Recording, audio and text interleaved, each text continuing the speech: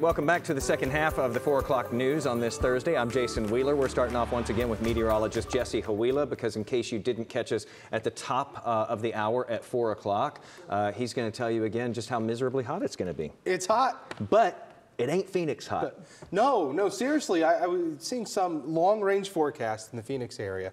It always gets extremely hot there. Yeah. But just remember, though, it could be worse, right? Could always be 115, 118, 119, close to 120. We're so cup half full, you know? That's us. Even between the two of us, I don't think we get to a half full cup. No, no, a couple drops maybe. And it depends on the day. It's, we, uh, Yes, we do it our- does. We do our best. Let me show you. There you go, 93. That's your best? That's the best I can do. 96 in Waxahachie, 83 in Breckenridge, Jason. Not Colorado, Texas, 83 Albany, 82 Abilene. So it's hot, yes, it's July. Uh, here's what we have going on, StatRad. So we had a couple of thunderstorms earlier today. Here, watch right here. So Collin County down to Rockwall County, they're kind of fizzling out there. We could still bubble up a couple of storms before the day is over. Look at this here. See some thunderstorms trying to pop up in Navarro and Henderson counties as it lifts to the north. It- you know, with these two boundaries right here, a lot of times this is just enough lift for a thunderstorm or two. Right here as they kind of come in together. So, you know, Ellis, Johnson, Kaufman, we're not done completely with the rain chance. Next several hours, 20% coverage, 90 at 7, 85 at 9 o'clock. Tomorrow morning, we wake up to 77.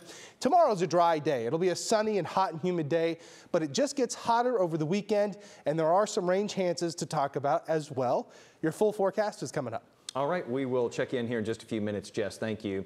Uh, speaking of heat here, Earth reached its hottest day ever recorded for three days in a row.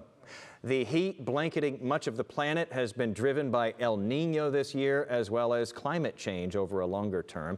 ABC's Melissa Adan reports today that those conditions may prompt even hotter temperatures over the six weeks ahead.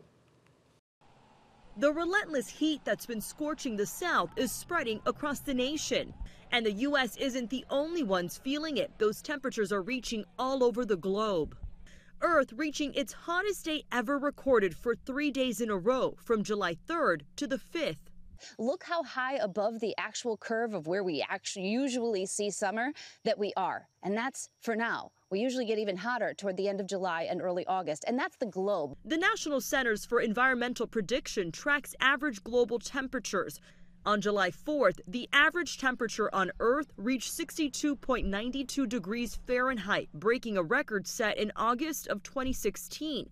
The Climate Tracking Group also found that June was the hottest month ever recorded.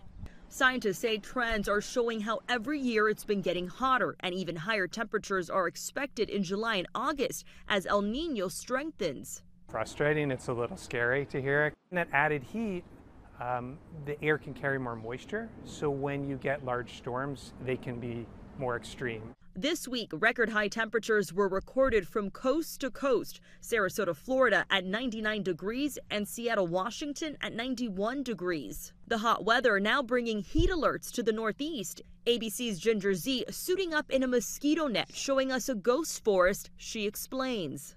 It's one of the most striking ways to indicate climate change because the sea is rising so quickly here in the mid Atlantic that we are seeing these ghost forests where the saltwater intrudes on the forest, takes out the trees, In the West, an excessive heat warning is in place in Arizona where highs could be in the 110s. The CDC warning people to limit their time outdoors as heat is the number one weather related killer in the world.